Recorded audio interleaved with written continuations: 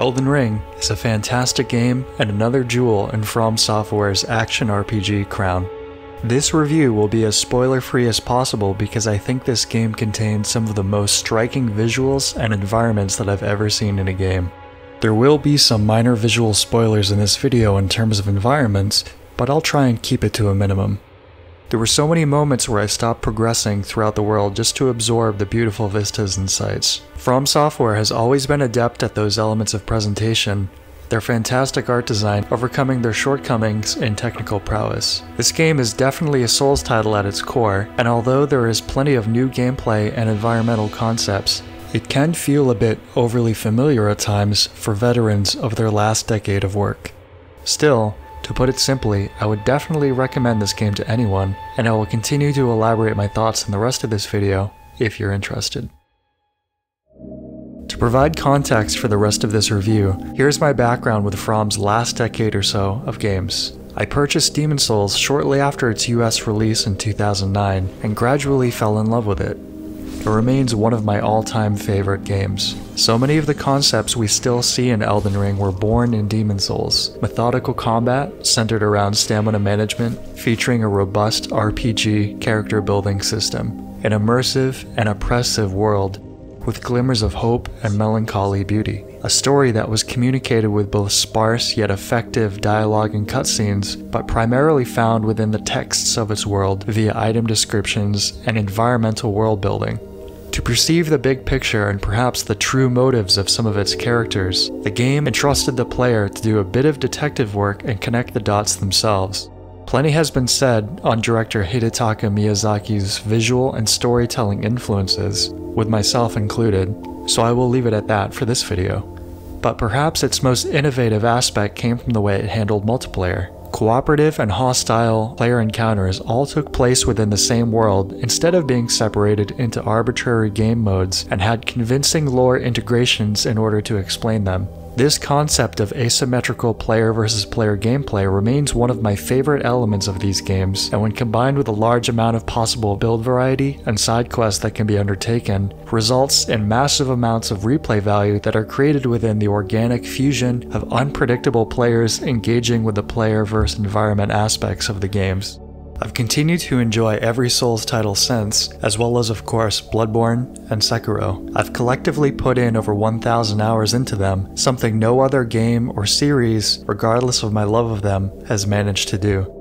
For context, for Elden Ring itself, I've completed one playthrough with a classic strength build that primarily used the classic Claymore, as well as a great bow and great shield on occasion. It took me 98 hours over a little over three weeks, and I think I've seen about 70% of the game's content. While writing this review, I have begun a second playthrough with a mage build that feels more dynamic and viable than it has since Dark Souls 1.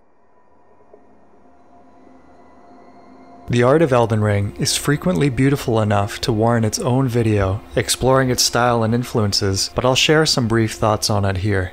Continuing some design choices from Sekiro, the lands between are frequently an extremely colorful and lively place, rich with flora and fauna executed on a near consistently evocative level.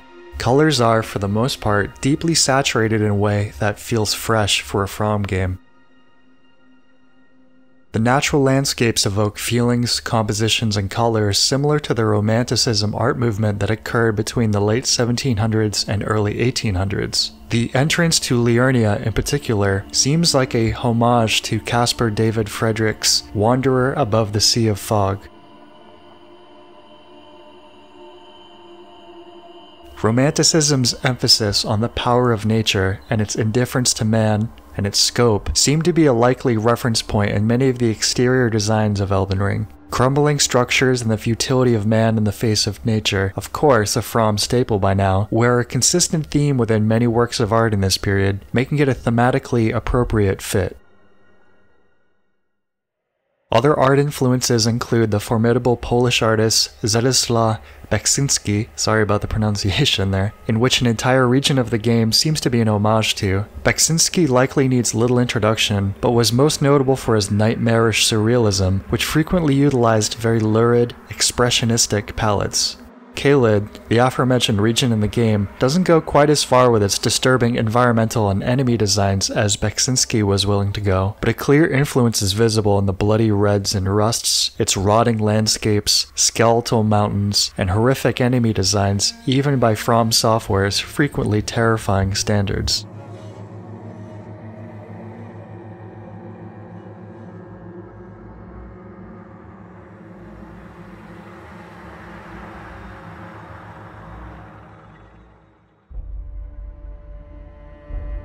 The final art reference I would like to mention would be Alan Lee, best known for his artwork inspired by J.R.R. Tolkien's Lord of the Rings. He is, of course, a common reference point for medieval fantasy and has been for decades for artists across the world. Even the art for Demon Souls was clearly influenced by Lee's work. The shining white marbled walls and the towers of Minas Tirith at the foot of a towering mountain seems to be an obvious reference point to Boletaria before its fall.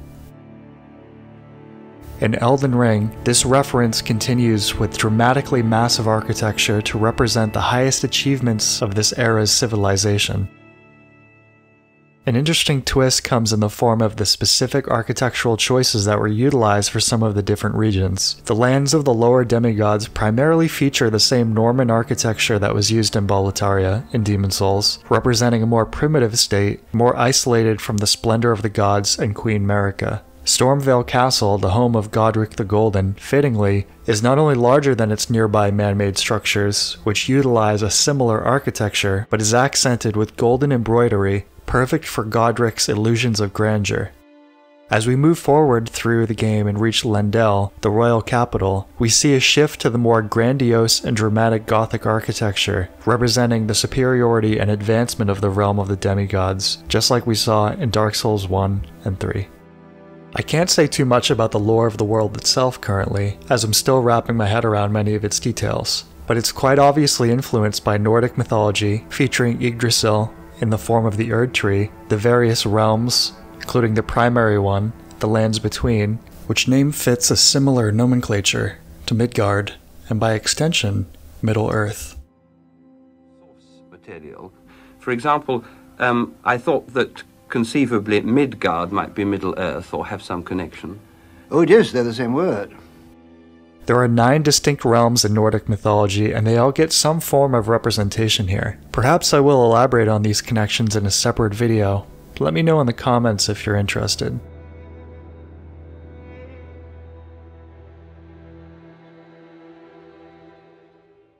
So what's new in Elden Ring? The largest departure the game takes from its predecessors is of course its open world.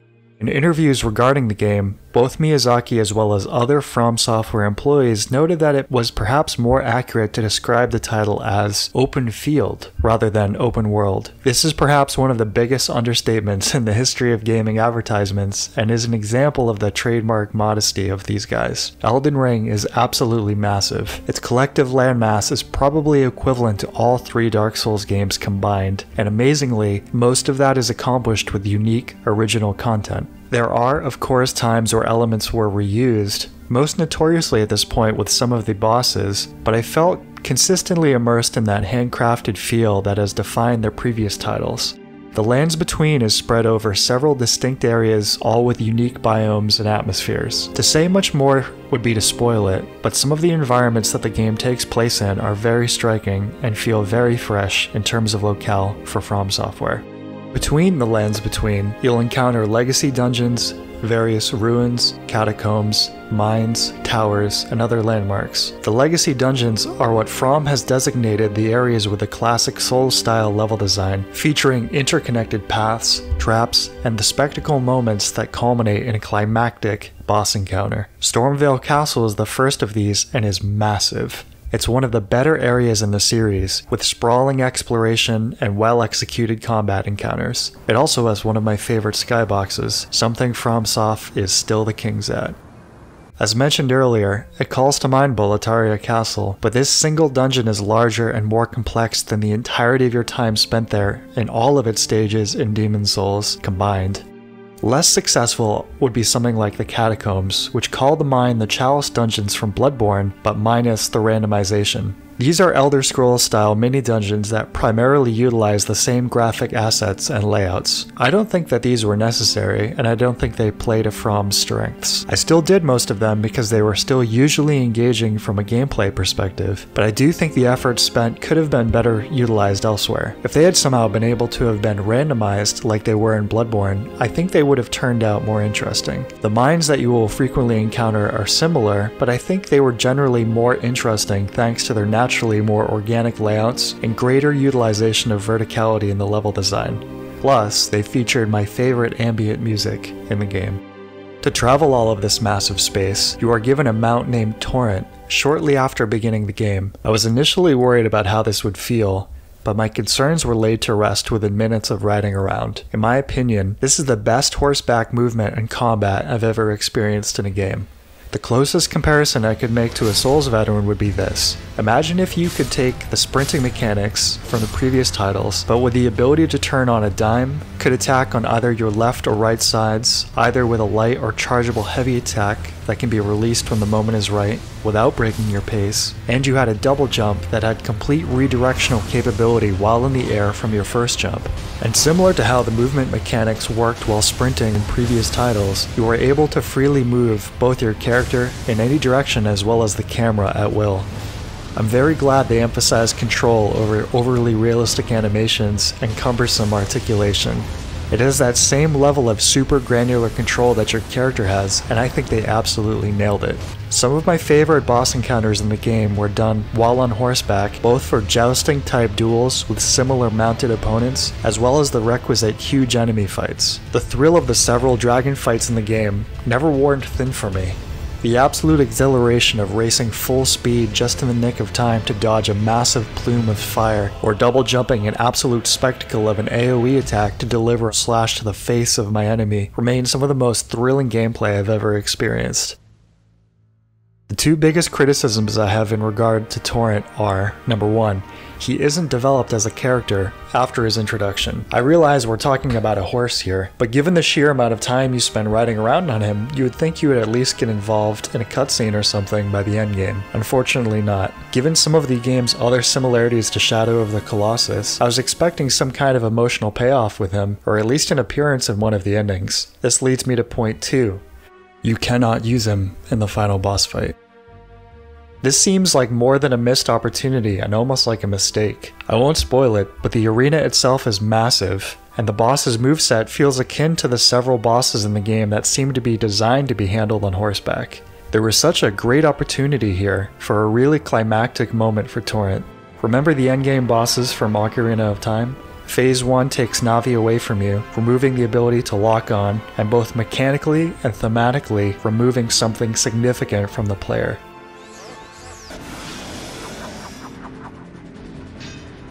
Navi returns in Phase 2, which elevates the dramatic impact of the final battle in a really cool way. I would have loved to have seen something like that in Elden Ring, but alas, no. Sorry, Torrent. Ashes of War are another new feature in Elden Ring. It builds on the weapon arts from Dark Souls 3, in which weapons have special moves that consume focus points. In Dark Souls 3, it was an attempt to expand the movesets of melee characters and a reason to invest in attunement for non-casters. Unfortunately, for the most part, they were somewhat underwhelming and didn't offer much of a worthwhile difference over your standard moveset. Ashes of War builds on the system in a few ways. First of all, they are largely modular in that you can equip them to a wide variety of weapons, which allows for a great degree of customization. Sit at any site of grace, this game's version of a bonfire, and you can quickly change your weapon's Ash of War and even its current method of stat scaling once you've got the right tools. Secondly, it seems like the average focus point cost is lower than it was in Dark Souls 3, encouraging more frequent usage. Third, and most importantly, they are by and large part significantly more effective than they had been previously, to the extent that one of them, the Hoarfrost Stomp, has already been adjusted to far more reasonable levels in a recent patch. The flashiness of many of these Ashes of War allow for melee focused builds to enjoy a bit of the spectacle that's usually reserved for caster builds, in addition to expanding your potential moveset. The next new mechanic is jumping and jumping attacks. Beginning with Dark Souls 1, the only method of doing a standard jump was after a running sprint, and that was primarily used to clear gaps, not to scale any vertical elements, at least intentionally. The jumping attacks that started with Dark Souls 1 had you press up and heavy attacks simultaneously, which was effective but not exactly dynamic in terms of controlling your movement while in the air. With Sekiro, From Software added a dedicated jump button that also incorporated it into the combat. Sekiro's emphasis on clashing swords and duels meant that the dodge and jump were sometimes secondary to the deflection mechanic, but it was still there, and it was still a nice change of pace that differentiated it from Souls combat. This has made its way into Elden Ring, and you're able to utilize light attacks, heavy attacks, and even dual wield attacks while airborne. That's right, this game has proper dual wielding. It's finally back from Dark Souls 2. You also automatically perform special dual attacks with L1 while carrying a matching weapon type in each hand. The jumping attacks tie into another of From's attempts to diversify the combat a bit instead of relying primarily on light attacks. Guard breaking was a concept in the earlier games, but usually only when an opponent was defending with a shield up, or the like. Similar to Sekiro, enemies have a hidden posture meter that, when broken, puts them in a stunned state for a visceral attack. Heavy attacks and jump attacks build this meter much faster than light attacks, and in my first playthrough I found myself using this technique frequently, especially on bosses. Jumping also deactivates the hitboxes for your character's legs, allowing you to leap over certain attacks and immediately follow up with a punish. It feels great. Jumping also leads to more dynamic level design possibilities while scaling both man-made and organic environments, and this is utilized to great degree as well. Guard counters are another new element with shields that encourages more aggressive and more dynamic melee combat. Separate from parries, a guard counter is performed by immediately pressing heavy attack following a shield block. You hear a sound effect and are rewarded with a fast attack that is more damaging than your standard light or heavy attack. Shield stamina in general has been returned to Dark Souls 1 and 2 levels and can now be more reliably used throughout the game again, especially if you utilize some of the several shield specific Ashes of War. Together, these elements go a long way into providing a more dynamic combat experience than has been found in any of the Souls games so far.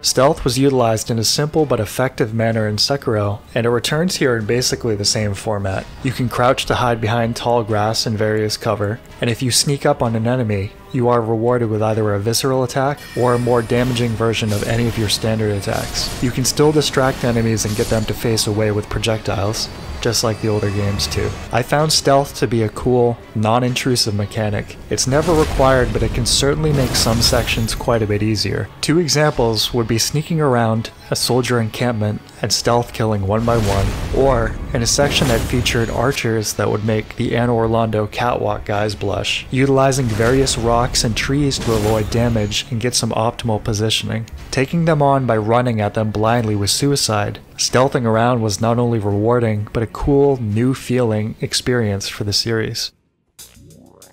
Let's talk about crafting. Elden Ring's crafting is pretty painless. First of all, it's completely optional. There's never a single situation where it's required. Secondly, the actual collection mechanics of it are extremely seamless. You pick up craftables with no animation and can even be moving full speed on your horse while doing so, simply by tapping the use button as you go flying by. You can craft items at any time outside of combat in a submenu that again has no animations or progress bars to wait for, None of that. There is no crafting level system or anything either. Your available craftable items depend solely on the materials and the recipe books that you can find and buy throughout the world. I usually found myself crafting at times that I was also leveling up at a site of grace, or taking care of business in this game's hub area, and producing things like weapon greases, poison darts, antidotes, and food for Torrent. Overall, I think it was executed well. Spirit summons are another new addition. They are essentially friendly NPC summons that will fight alongside you.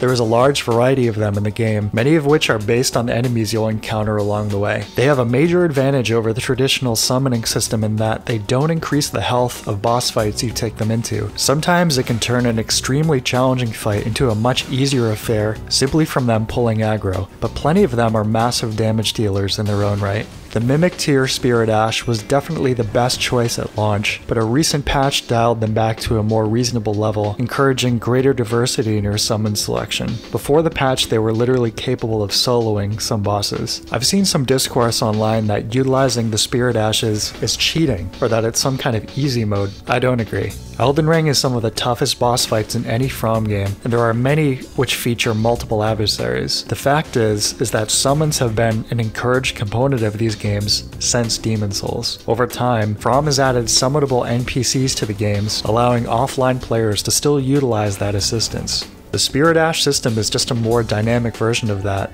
allowing you to fine tune an element to your character's build, just like infusions and other synergy mechanics. The trade off for summoning players and traditional NPCs is the boss health increase, but the majority of the time, it was still a worthwhile trade considering the average intelligence of a human player versus the AI. I do feel a little conflicted about utilizing them personally, only because I prefer a straight 1v1 and not whacking a boss in the back while an AI keeps pulling aggro. Not utilizing Spirit Ashes in Elden Ring will certainly add another level of challenge to some fights, but I didn't find it either required or that it completely ruined the challenge either way, which leads me to my next point. The bosses in Elden Ring are a bit hard to talk about for a few reasons. There are more of them in it than any of their previous games, but many of them are repeated. There is usually some element of difference, but similar to Sekiro, you will fight a few of them several times. I didn't find this to be too much of an issue in terms of immersion. For the most part, the repeat fights make sense as they usually belong to a group that would have several members, to put it as vaguely as possible. There were some notable exceptions to this that I feel were a mistake in terms of world cohesion and immersion, but I didn't necessarily mind from a pure gameplay perspective but a special mention must be made to the Erdtree Avatar, which is the Asylum Demon from Dark Souls 1, who was already reused several times in that game, came back again in Dark Souls 3, and is repeated here several times. There are still big, climactic, and memorable fights featuring introductory and halftime cutscenes that emphasize their significance and power like the previous Souls titles. These, as mentioned earlier, are some of the toughest From has ever made. After my first playthrough, however, I don't think I found these big story fights collectively, and emphasis on collectively here, as memorable as some of the previous games. Don't get me wrong, there are some real highlights and jaw droppers, but I do think overall the mandatory bosses are a bit of a step down from Dark Souls 3, both in terms of their movesets and that wonderful climactic feeling that results from that intersection of lore, presentation, and music.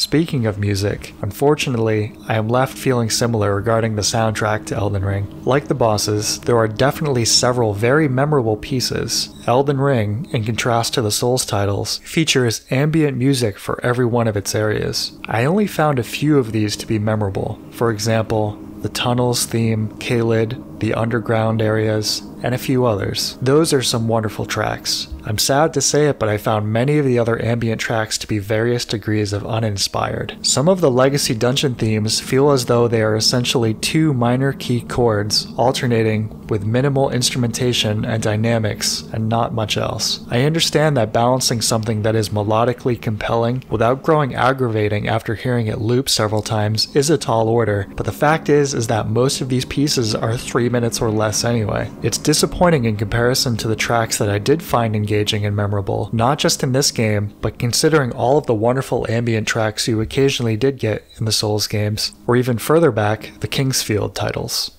The boss music is pretty much what you'll be expecting if you've played Dark Souls 3 or Bloodborne. Lots of orchestral bombast, Latin choirs, etc. Some of it is more successful than others, but I again have a hard time remembering most of it compared to previous titles.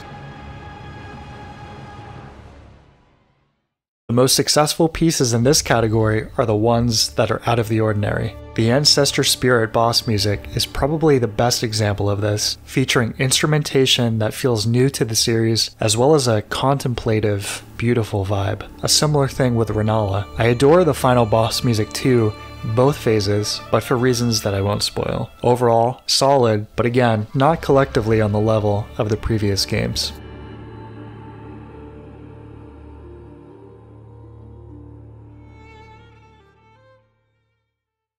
Multiplayer is not in the best place right now. Beyond frequent general connectivity issues, bleed builds are extremely overpowered, to the extent that the grand majority of invasions and duels you'll encounter will probably be utilizing them. Dark Souls 3 got some flack for straight sword R1s being so good, but this is a bigger issue in my opinion. This is one of the easier things to fix if From is so inclined, fortunately. Beyond that, Invasions are now limited to opt in when solo or when you've got a co op partner or two present. This means the majority of invasions you'll enter will be a 1 versus 3 scenario, and when combined with the aforementioned popularity of bleed builds, it leads to some pretty frustrating scenarios. Finally, and this isn't From Software's fault, it feels like the general player base level of communication is even more toxic and obnoxious than it was in Dark Souls 3. For example, getting teabagged, now possible thanks to the crouching mechanic after getting massacred in a 1v3, or how 9 out of 10 messages are the same played out joke you've been seeing for the last decade of these games. It's wearing pretty thin for me. Illusory wall ahead,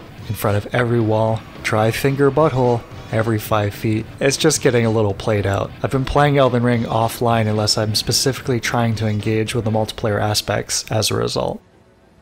My biggest critique of Elden Ring, however, would be the moments in which I felt a great sense of deja vu in regards to specific moments, visual set pieces, or elements of the setting and lore. Elden Ring certainly features a large amount of new concepts, locations, and visuals that haven't been seen in a From Software game before, but it also has quite a few moments that were a bit deflated for me because I felt like I had seen them before in not only a previous games, but multiple previous games.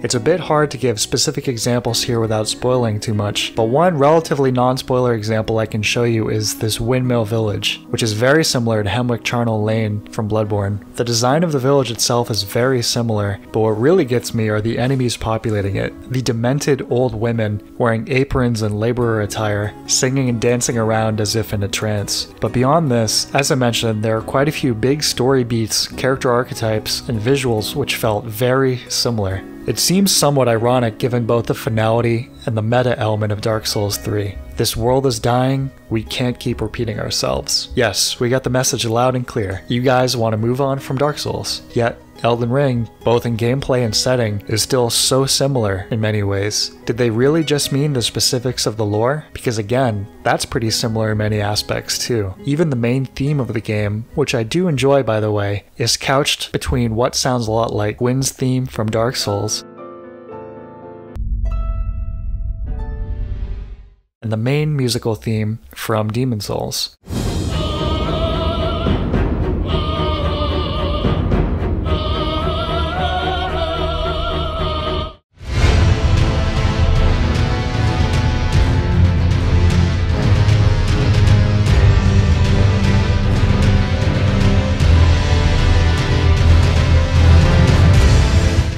How much of these feelings are deliberate reflections and callbacks, and how many of them are a lack of new ideas? I'm hoping that their next project, after the supposedly in development Armored Core 6, which I am very much looking forward to, is something really new again. Not even something like Bloodborne, as great as that was, where the gameplay was still largely similar to Souls despite the change in setting. Maybe return to a first person perspective a la King's Field? Maybe it's time to make their first proper horror game in 20 years. They've certainly proved their skill in that regard. I've talked about this before in other videos, but the Dark Souls trilogy, and now Elden Ring, take place in various realms of the gods, featuring impossibly massive cathedrals, vistas, and sites. The lore in these games, while still retaining some relatable, metaphorical elements, have largely been focused on the trials and tribulations of the casts of supernatural beings that are more similar to the Greek gods, Arthurian legend, now Nordic myth, or in the case of Bloodborne, Lovecraft and his unknowable cosmic entities. It would be cool to return to something a bit more grounded, especially if they could manage to incorporate the level of more relatable human metaphor and dramatic irony that I found to be such a compelling element of the world of Demon Souls.